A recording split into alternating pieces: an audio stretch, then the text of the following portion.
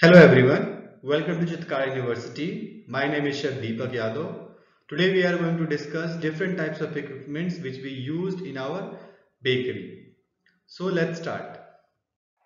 After watching this video, you will be able to identify different kinds of equipment which we used in our bakery.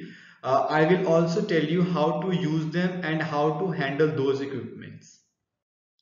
So in the bakery, we have categorized our equipments uh, in different categories. The first category is hand tools. The second one is pan containers and the third one is a large equipment.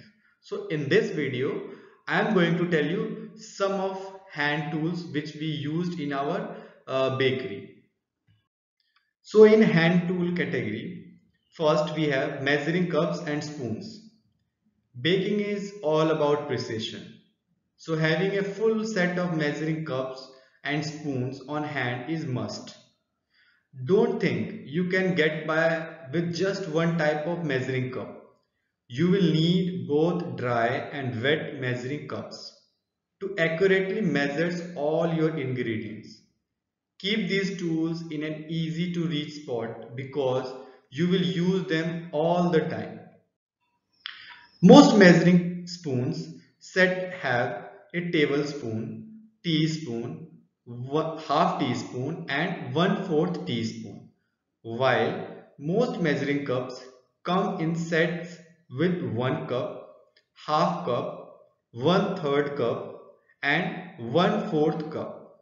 For liquid measuring cups, you can get by with a 1 cup size, but it can be handy to have 2 cups and 4 cup once in your hand tools so that you can do your misa easily. Now we will talk about wooden spoons. One wooden spoon is enough but this tool is so handy it can sometimes be helpful to have couple around. Wooden spoons are great for all kinds of stirring because they are so sturdy you will be able to use them with even the thickest and heaviest dough. Just remember to hand wash them when you are done so they don't end up cracked. Now we have rubber spatula or scraper.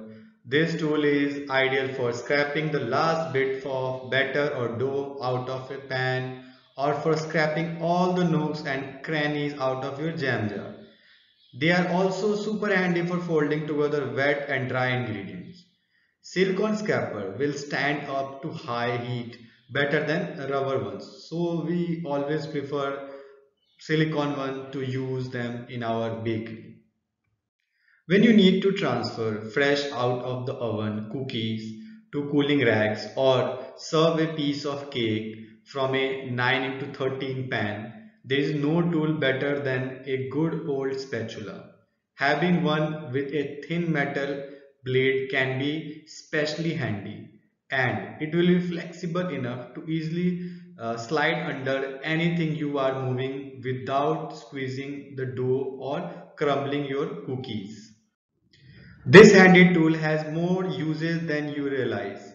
It can be used to grease a pan before pouring in cake batter to coat dough with melted butter or egg wash or to paint milk on top of uh, pie crust. Especially if you are a frequent baker this is must have equipments in your bakery.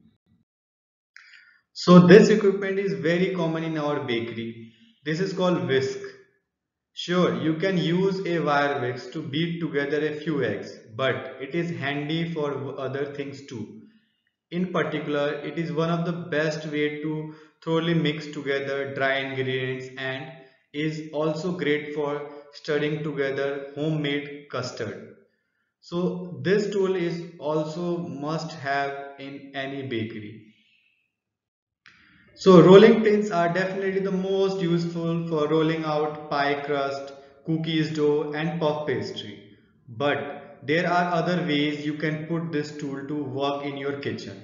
For example, if you don't have a food processor, need to crush cookies, chips or cracks for recipe, just put them in a sealable bag, then use your rolling pin to smash them into pieces. You saw these tools or especially rolling pin in our Indian kitchen also. We use this rolling pin to make rotis and parathas, right? So here we are also using these, uh, these uh, rolling pins as to spread some dough or to roll some dough. Now we have fine mesh sheets. You can put a sieve to work in lot of different ways. For bakers, it is especially probably the most useful for shifting dry ingredients or adding a dusting of powdered sugar to a finished pan of brownies or cookies.